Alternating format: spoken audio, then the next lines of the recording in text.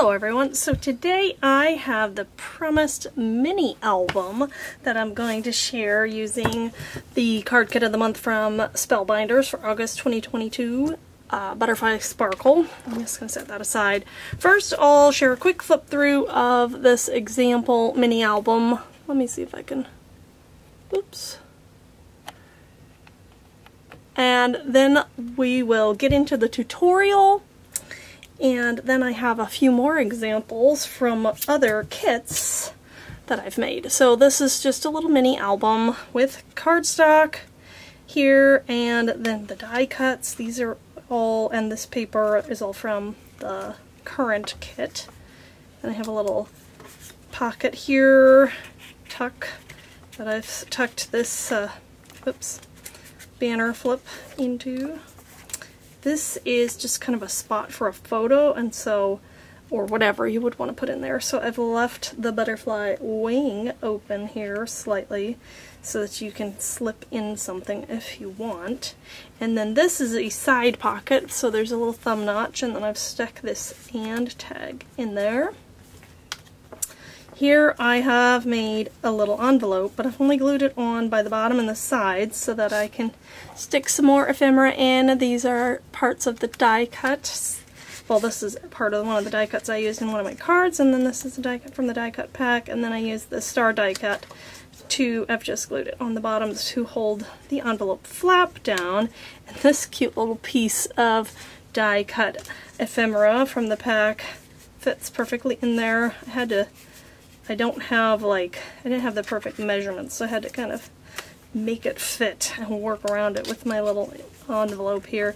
Then I've used this die cut here from the pack as a tuck spot, and I've just glued it kind of partially on the sides. And then I stuck these little tickets in there, and there's the back. So, cute little album. Really quick and easy. Let's make it right now. Okay, so, first we're going to take, need some cardstock. Uh-oh, I got some ink on there already. This is, you need two pieces, I just cut it in half, of 3.25 or 3 and a quarter by 6 and a half inches. So these are 6 and a half long, 3 and a quarter high. And the first thing we're going to do, if you have a scoring board, this will help, but is we're going to score at 3.25 two five, three and a quarter. Right down in the middle, basically. And you want to fold. And I'm, I left my measurements on there to help you see it. I mean, but, uh, you know, obviously you wouldn't need that, but we're going to cover it up in the end. I might actually erase that because I do want to keep the pink edges. So, remember that's six and a six and a half by 3.25. I'm going to move my scoreboard over and just erase that. Okay, so now we have two pieces that are pretty much identical. Okay, so this step right now is optional. Remember the rounded corners? I'm just going to go ahead and do that now with a quarter inch. And I'm just going to do, oh, whoops. I'm not going to do the folded corner, the side. That's going to be just the ends, if that makes sense.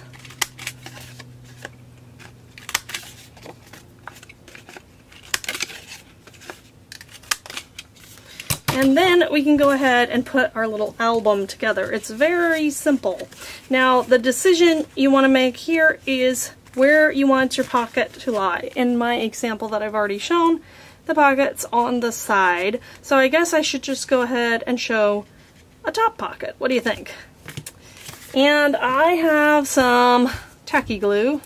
You can use whatever glue you like to use. I'm just going to do kind of, I'm trying to get a thin line here because ta the tacky glue is pretty thick and uh, you don't actually need that much.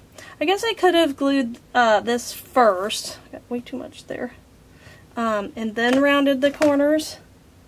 Might actually be, be a bit easier, but sometimes my corner chomper needs to be cleaned. It's got a lot of like adhesive gunk in it, so I just did it this way.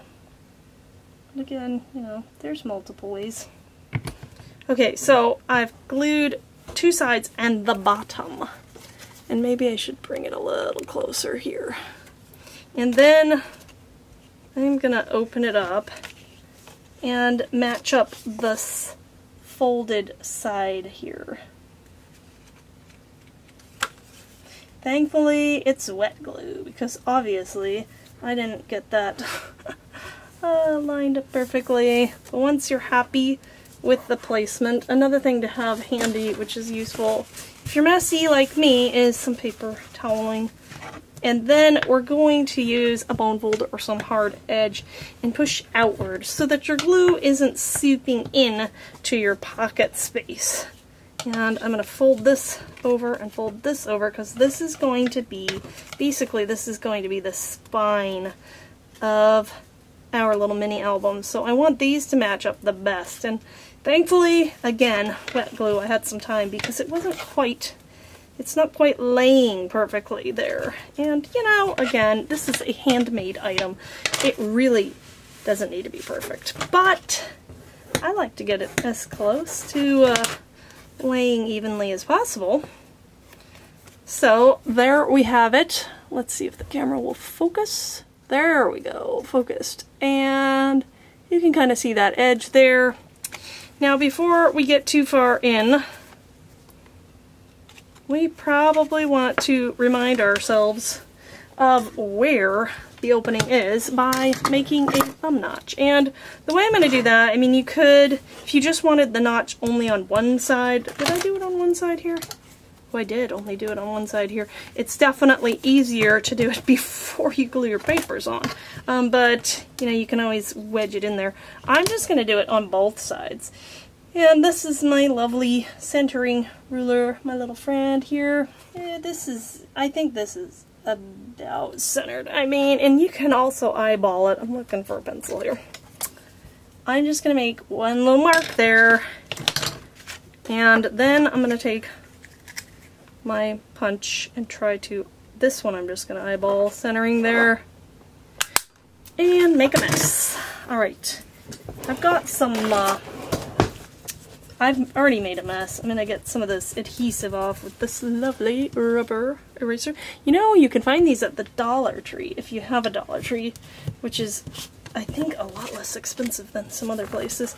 I think my desk is messy too, so maybe that's part of the problem, is it's like picking up stuff from my desk, but ugh, you know what? Yeah, you can probably see that. it's dirty. All right. So we're to go ahead, and I've already cut down pieces, oops, from the paper pad, but you need two pieces for your cover of patterned paper and for the back. And what size is this? This is 3 by 3 and lovely 3 by 3 square, so it's just a little shorter. And because I rounded the corners, I think it'll look good to round the corners here as well. And there's some, yeah, get that off there. And then I'm just gonna put it on. I'm gonna use wet glue again, but I'm gonna use this one because then it'll come out easier. You can easily use the double stick tape from the kit for this step or a favorite tape runner. I just really have a hard time getting things straight and uh, it can be hard to, you know, change it once you've put it down with the especially the double stick tape that comes in the kit. It's down once it's down. Um, and I'm just spreading because the other, the downside of the liquid glue is, you know, it's not fully even coverage, but yeah, that's, I am not trying to get it too straight today, so that is why I am choosing the liquid glue so I can move it around. You see that? It's totally crooked. You have a little bit of time.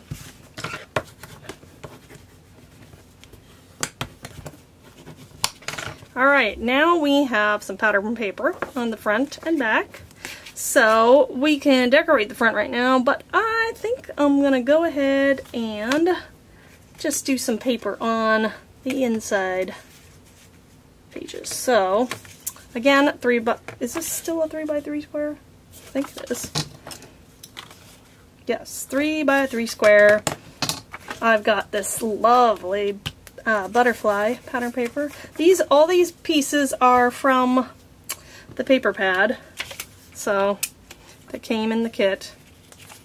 I'm to round the corners again.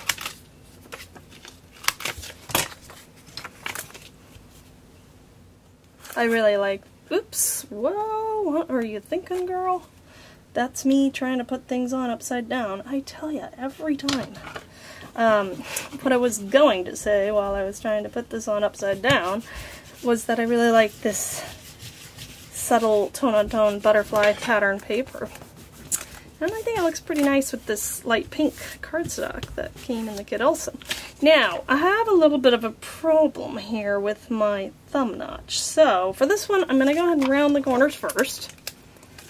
I guess it's not really a problem. It's more of a challenge because I don't, you know, want it to be covering my thumb notch. So what I'm going to do here this time I seem like I pick different ways to deal with it every time, but this time what I'm going to do is try to figure out kind of where I want it, and I'm just going to go in here and sort of pencil the line, and then I'm going to very lightly pencil what is approximately the distance. It's about quarter inch, and I don't even know if you can see that. Oh, camera, come on, there we go.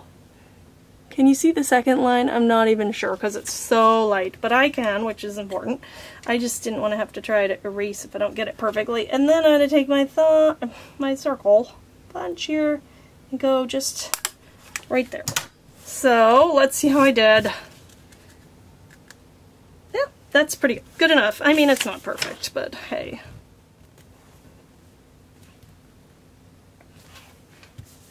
Okay.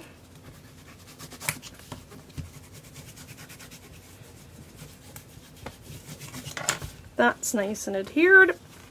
So we have the two pages already, and then we have these two.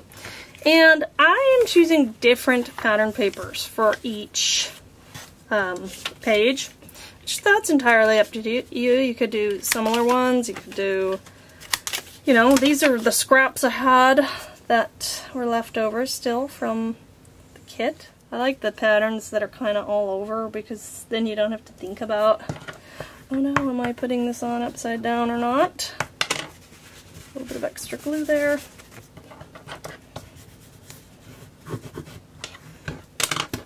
Again,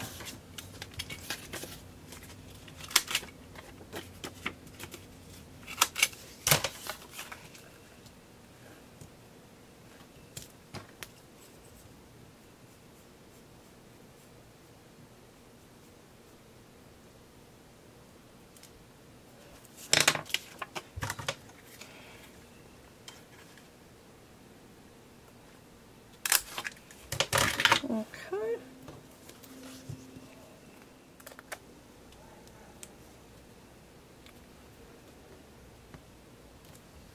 Uh-oh. Well, I didn't do as well lining up my thumb notch that time, but that's that. Okay, hopefully that's okay. I have my son and his friends over, so you may have heard some noises. I'm sorry. Alright, we're going to decorate the cover now. We have all the pages covered, and then we have a pocket here. And then we'll go ahead and look through scraps and see what we like. I already pulled some things aside here. I think I was going to put this kind of, whoops, why did I put that away? I think I'm going to put this little scrap of black and white polka dot centered relatively speaking. So, and make sure, okay.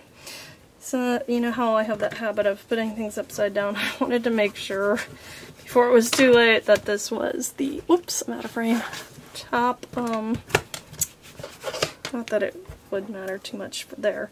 Now I have this doily die cut and actually was I going to do it like this? And then I have a chipboard sticker. So I didn't pop out all of the um, pieces. They didn't like, they didn't come out very easily. So I'm to cover up some of it. So I that's why some of them aren't popped out because I don't need it. Maybe I could have used, I have like this brush thing, but anyway, I just didn't do it all, so let's see if this works. Oops, throwing things around. Before I press that down, I want to see. I think that's good, and there's a lot of glue in there, so I'm just going to initially press it down with my toweling so that I don't make a big gloopy mess. Now I've got this chipboard sticker and it's thicker. I wouldn't necessarily put the chipboard on the inside, so but I think I can get away with it here on the outside. And what was I going to do with these? I got a couple scraps here. I was thinking of tucking them under, but I don't know if I left myself enough room for that. Oh, maybe I could do it the other way.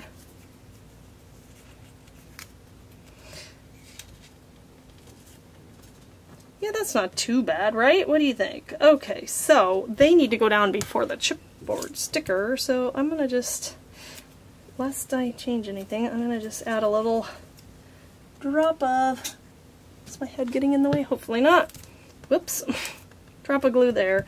They're exactly how I want them, and now hopefully they'll stay. I don't know if I'm the only person who has that problem, but like, I get it just how I want it and then I take it off and glue it and I put it down in a different place. Like, why? But yeah, so that's why sometimes you see me making things stay together before I permanently glue them down. Uh-oh. Now that's not good. okay. I think I'm going to add first some glue here and then some glue to the back. They really didn't want to leave the acetate backer. This thing was committed to staying.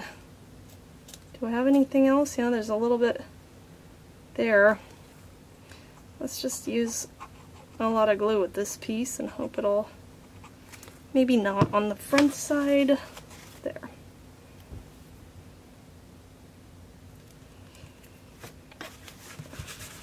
Push it down. That doesn't look too bad. Alright, what do you think of that? Cute.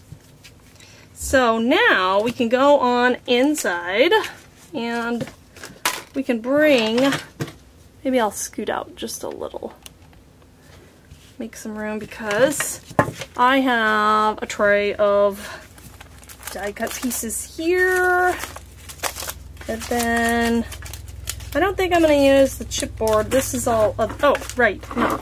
There's actually another tray here with lots of things for me to choose from. I think for this first pick, no, maybe for this one? Yeah, I like that. So I am going to use this watering can as a tuck spot. So I'm just going to add a little bit of glue along the side here. And yeah, I think I'll leave just a little right there, but I'm going to leave most of that open. Because you never know what size of thing, ephemera, that you want to glue or add to your journal. And you don't want your, whoops, tuck spot too glued down to where you can't fit something.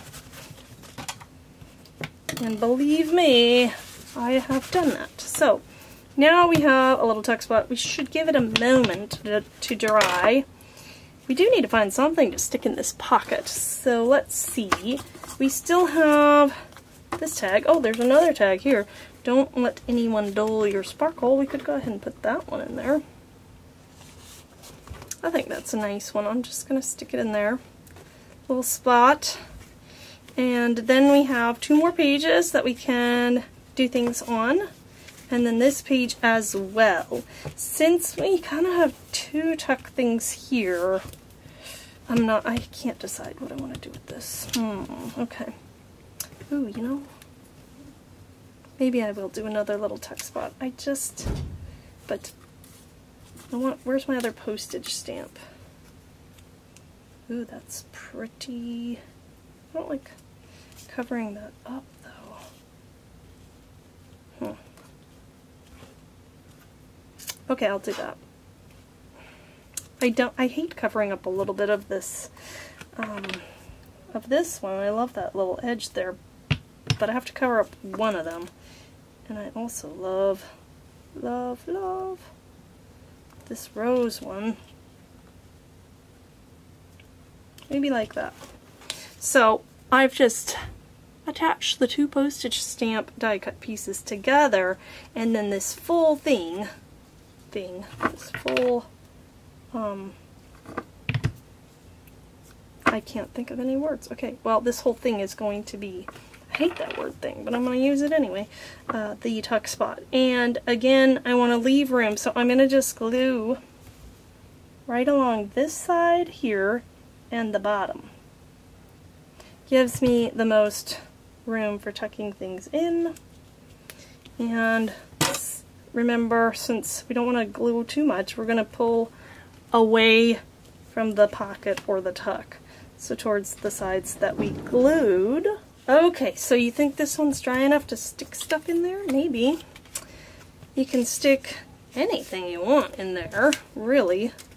What do we have? What would go with a watering can? Um, and any of these larger ones can also be written on the back, you know, you use it as a tag. I don't want to do that one. This one's a bit too large. I think in one of them I folded. Ooh! Sorry, I just got a little distracted by the negative space. It's a bit too long for that, but um, moving on. I loved this piece. It's so pretty. So, I don't like how it goes there though. Wish for it, hope for it, dream for it dream of it. This is a nice size. I'm going to tuck this behind. And then, you know, you can either stick a picture on the back or journal on the back. But I'm going to stick that there. And I still have lots of pieces here.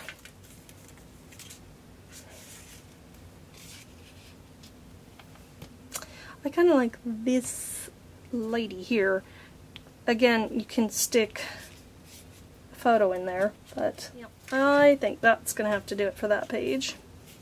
Then I have two more pages to work with here. I pulled this aside.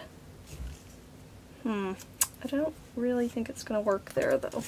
This, I was thinking you could glue just the top and have tuck things under, but I don't like, I don't love how it goes with those two, so I'm not going to do that. Oh, that's cute. I like that with the black and white. But I wonder if it's taking up too much space. Well, this could just be a really full of tucks journal. It's going to get very thick. So I'm going to go ahead and put the bicycle down. Now, let me see. We also have some scrap papers. I'm just going to grab a little cutter here. And my precision marking instrument. Oh, it's just my little bone folder, but that way I don't make it too big. Okay, open that. Where's my paper? Here is, still have lots of lovely papers from this kit. So I'm going to pull out some of the scraps. Ooh, yes, actually. Ooh. It's a little bit small, but I love this one, so I'm going to use it. First I have to figure out, I need a ruler. I think that's, yeah, it's about a quarter inch. So, if I want this have a quarter inch border all around and it's two and three quarters long, I'm going to take off, so two and a quarter by one and three quarters. Wait, it already is the right height, so two and a quarter. I just need, and this guy doesn't have great measurements on it, so I'm just going to make a little pencil mark where that needs to be. Make sure I'm still in frame here. Getting a little distracted. Um, that was not quite right. Okay, hopefully that's close enough. Let's see how we did. Yay, I think that's gonna work. Now, I think, I think I can get this one straight. Let's see. Because I do use the tape runner a lot for making cards and things. Look at that. How cute is that little thing? And oops, can fit it right behind our bicycle. Have a little photo mat there. And or journal on the back. So lastly, what should we do with this side?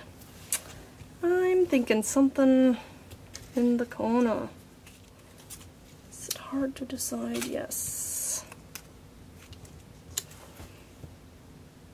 There's a lot of gold going on over there. Maybe I can do this, huh? So if I just need this a little bit smaller.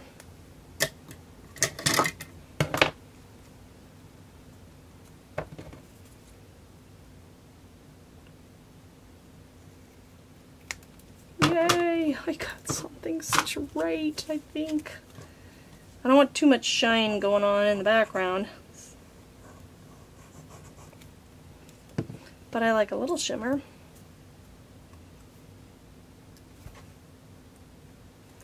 Okay, my trusty towel. And you're getting a little bit wild up there in the corner. Okay, how's that? Pretty good. Wow, super shiny. But butterfly, butterfly, I think it goes. This one, I'm just going to put glue on the top. And I'm going to drop it. Uh-huh.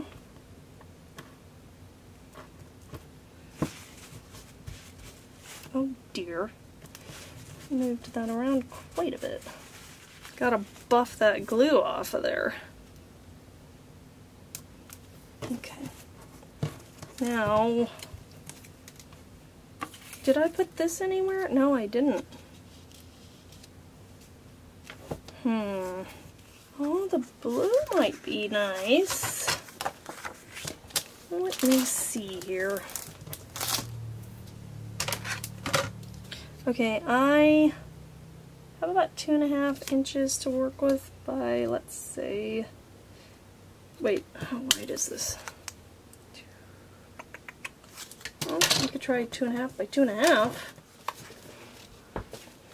Now, does that look silly with this because it's too small? Kind of. Huh. Ooh. But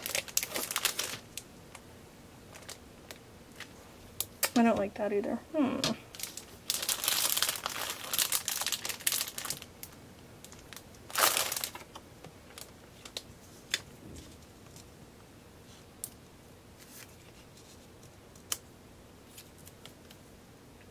Okay, I'm going wild here with scraps. I think, though,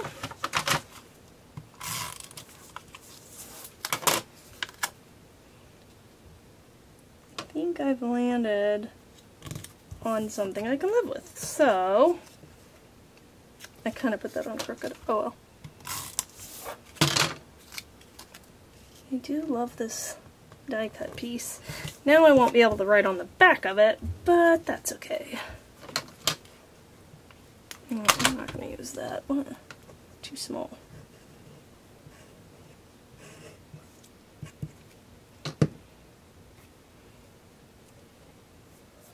And actually, now that I think about it, wouldn't this be a perfect place for a little um, sentiment?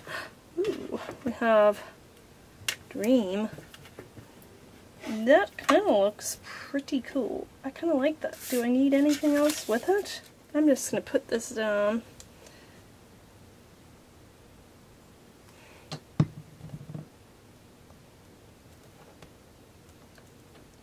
Alright, that is going to be my little card, journal card. I can write on the back and I'll stick that in there. And this I'm going to call done. Let's just have a quick flip through. So here's our cover with the chipboard and some scraps, die cut piece. Going inside, nice tuck spot, could stick pictures in there, ephemera. Again, another little tuck spot with space for writing on the back. We have our top pocket here with a tag. Don't let anyone dull your sparkle. On this side, we have the back of that tag, and then we have a little bicycle here that's a tuck spot for another picture or ephemera or journaling card you can write on the back, and then our tuck spot here with our little homemade impromptu journaling card there. And that is it for this mini album tutorial. Now remember, I have, oh yes, some more to share. So we saw these two, whoops, let me just back out of it. These two here were made using the current kit. And then I have three more examples. Now you might remember Okay, so let's actually just start with the more recent one. The June card kit, Party Hat and Streamers. I still have a bunch of stuff. So that's what I made this one with. And this one I didn't round the corners. This pink sparkle card is not from the kit. Um, it was something I had in my stash, but all the die cuts are. And then I've got a little tuck spot here, and I just used some scrap paper here that you can write on and put in there. Left this blank for like a picture, but I did leave the top of the butterfly open.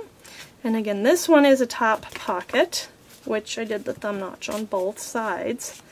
I think I must have backed this to some card. It's nice and thick. And then I added a little scrap paper there, and this is that lovely pattern paper from that kit.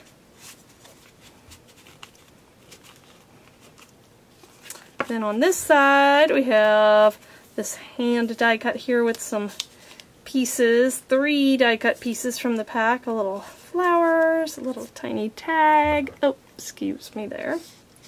You zoom in close and then you get out of frame. And then lastly, I guess I'll use this, I have put on this little banner piece and I left it open on the sides. You can stick a picture in there or any other ephemera. And then that's the back. I'm just going to zoom out a little more so I have a little more room.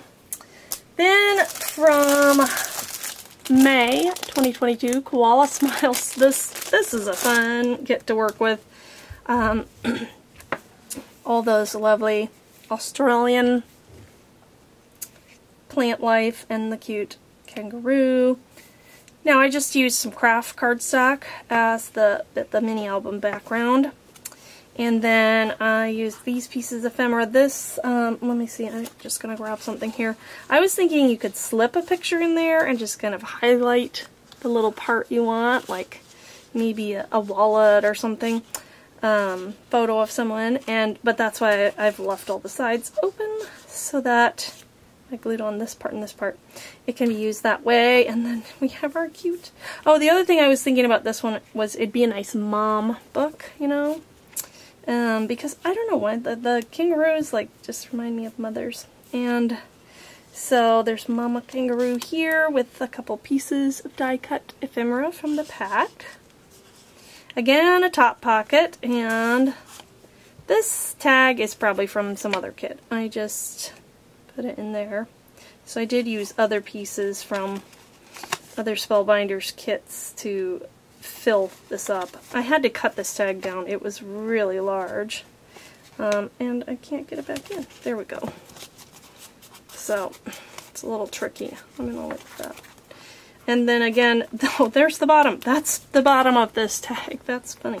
So I just took it and used it as a text spot on this side, which we have some map paper from that uh, koala kit, and then a couple more tags and a little notebook paper piece.